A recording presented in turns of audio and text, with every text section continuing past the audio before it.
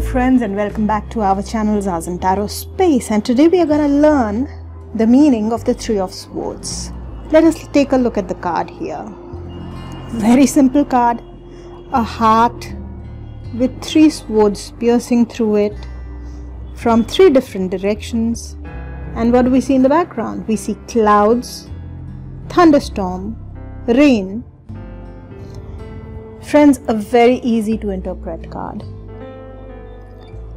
in certain ways heartbreak, heartache, discord, acrimony. All of these are, things are shown here in the Three of Swords. The threes, the keyword for which is triangle. We had seen that when they are positive, it's all about growth, it's all about strength, stability, but here the threes have become very negative. And we had also discussed the negativity in our significance of threes video that when threes become negative then it has the potential to divide to split to separate. And that is very clearly seen in this card. It is cutting through. And what is cutting through the sword is cutting through the heart. One thing which is worth noticing here, however, is that even though the Three of Swords shows a pierced through heart and cloud and rain behind it, which shows uh, removal, absence of some loved one, it shows probably delay, it could show uh, division, dispersion, maybe, all these things are represented by the Three of Swords, and yet what we see here is a heart. But, friends, this is not a cup card. So, we are not talking about emotions here. It is a sword card. And we had discussed what swords and the entire sword suit represents what is the significance of the sword suit in our tarot cards. And there we had discussed that swords is all about thoughts, it is about words, it is further about communication and ideas. So, the interesting thing here, friends, is that the Three of Cups, even though it talks about heartbreak, somewhere or the other you will see that this heartbreak needn't necessarily be either in an emotional way or else caused due to an emotional reason. Instead, what you will see is that okay, it could either be an emotional suffering, fine, but caused by something related to the uh, suit of swords. For example, someone has communicated something, used words which were really hurtful and painful, and that has caused you pain.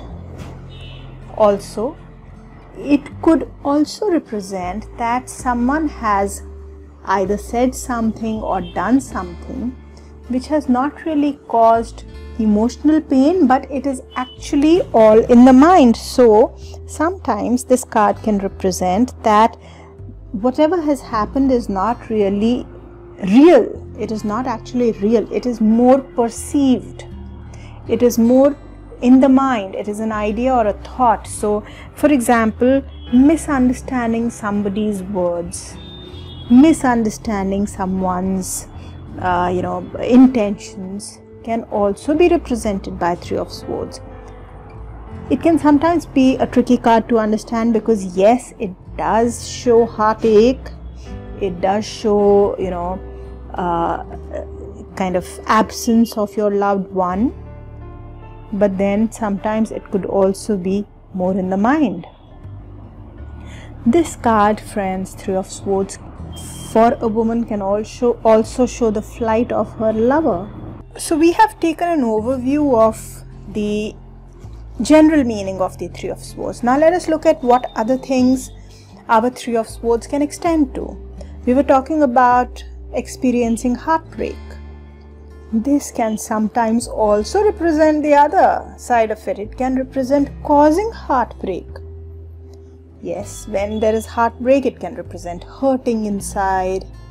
It can uh, represent sometimes news which is unwelcome, hearing something unsettling, or hurting your own feelings or someone else's feelings Yes, it could also represent uh, emotional pain, suffering emotional pain, uh, or being disappointed.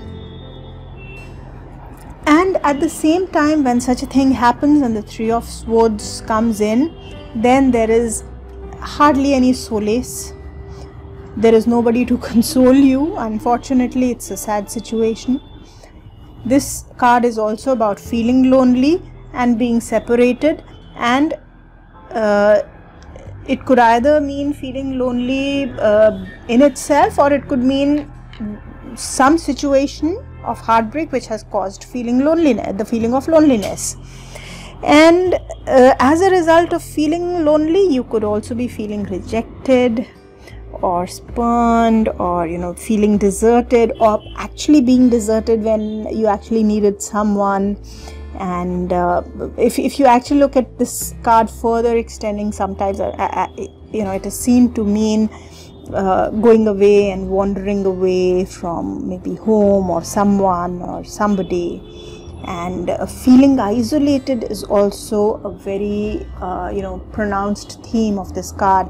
Feeling isolated from everyone you love or from those around you feeling lost of course, experiencing betrayal is a very obvious theme. When we say that this is a sword card, then of course it is also about discovering painful truths or feeling let down, actually being let down or being stabbed in the back. And this is also a card of, see, we had said sword is about words. So, breaking your word, breaking your promise, either someone else has broken their promise or you have broken your promise. The querent has broken their promise. Yeah? And also this card means sometimes that you place your trust in someone and you realize that the trust was misplaced actually. So uh, the trust is broken. Uh, so you have you're feeling let down.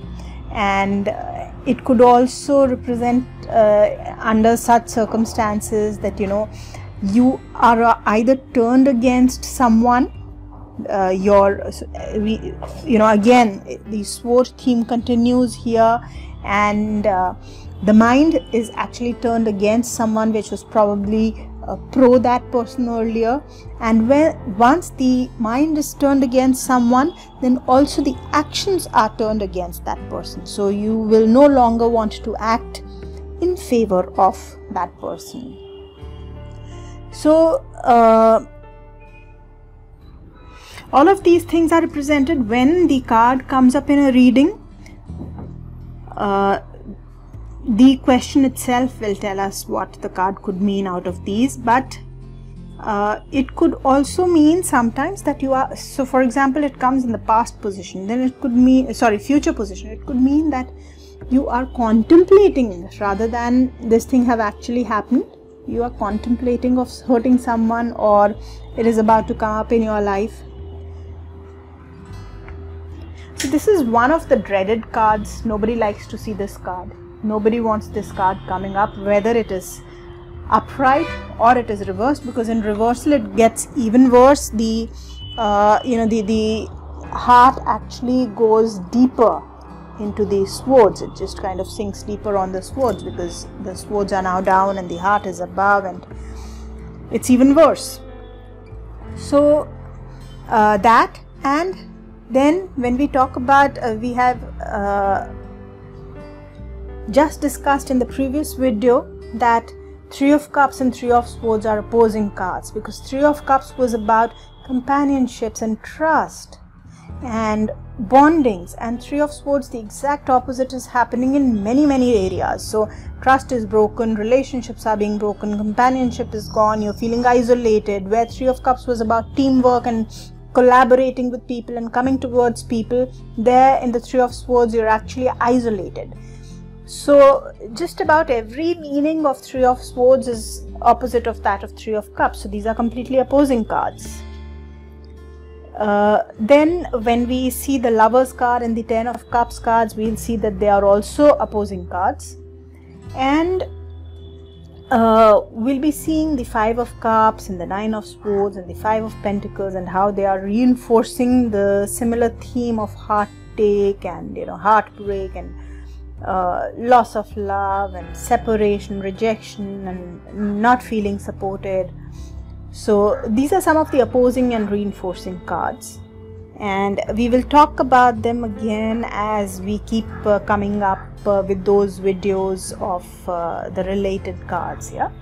So i hope that the meaning of the three of swords is clear. And uh, now we will move on to our next three which is uh, the last three and that is the three of pentacles.